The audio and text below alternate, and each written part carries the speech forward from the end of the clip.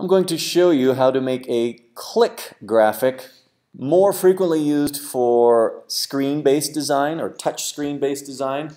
You, you can feel free to use it on your browser, but you don't have to. But since I don't have any artwork in here for mobile, I'm going to do it on this desktop web interface. Okay, as soon as our mouse gets here, to simulate a click or to show a click, let's see. Do we need to get rid of some of those Probably need to get rid of that last keyframe because we're already there. All right. What I would do is use a shape layer within After Effects. A circular shape layer. So I'm going to go up here to my shapes. I'm going to select the ellipse. I'm going to draw a circle of approximately, I don't know, that size. Zoom in a little bit. Maybe a little bit bigger. What do you think?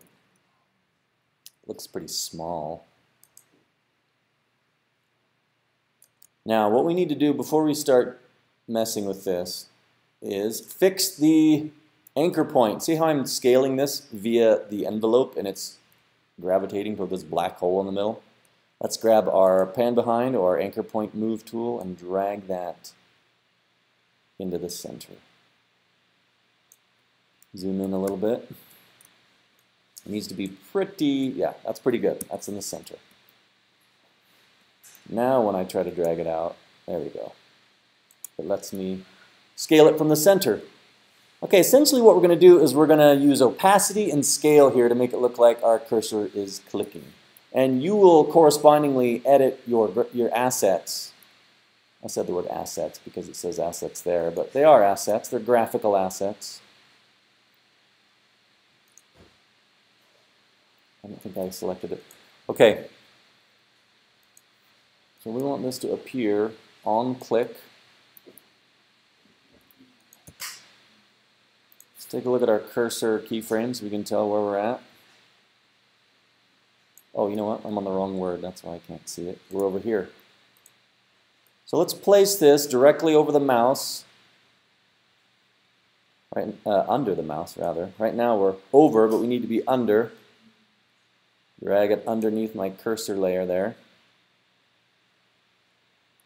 And let's have our layer start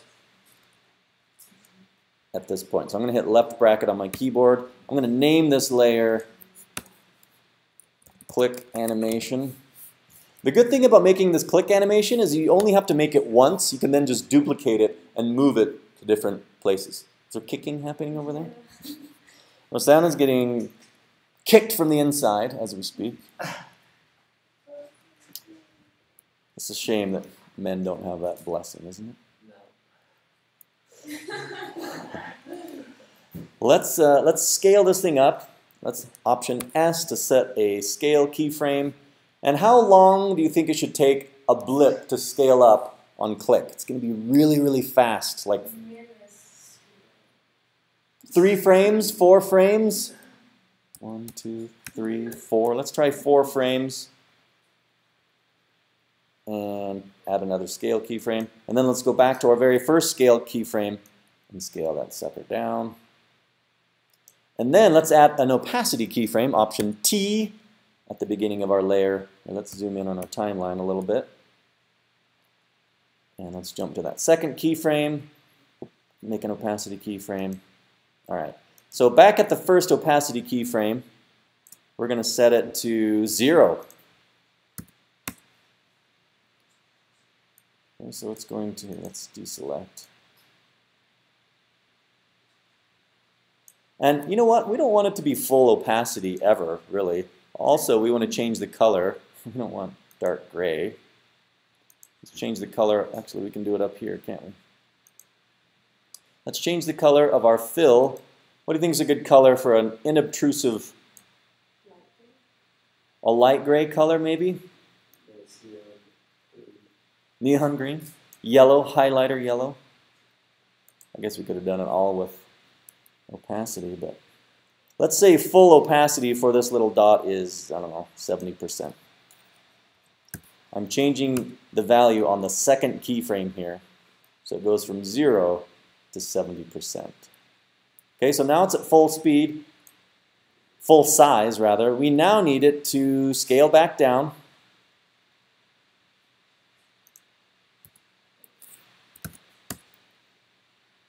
Really tiny. I didn't go all the way to zero. I don't know why. Probably because I don't want it to end. This is going to go so fast here. Let's type in something like 40. So it doesn't shrink down to nothing. And then type in zero opacity. Okay, let's preview this thing. I have a feeling it's going to be a little bit long, but who knows. A work area. Preview. Oops, we're still on full screen. It's kind of hard to tell. We're not going at full speed by any stretch. Let's turn off full screen in our preview panel. So it'll just do this for us. Yeah, so we're playing back at five frames per second because not only am I broadcasting via Apple TV, but I'm also doing a screencast right now, a tutorial. But uh, what I would do is if that's too slow, I would go in and I would make the frames closer together. Let's stop that. I have no idea how fast this looks in real time. This is a 30 frame per second animation. The other thing I would do is just go in and easy ease these things. Easy ease. And then, yeah, we don't need to worry about motion blur or anything, but once I click, I'm going to see a little blip there. Yeah, it goes really fast. That's about all you need, though. Just a little indicator that something's happening there. It's hard to see the fade in, isn't it? There we go. Yeah. I show us how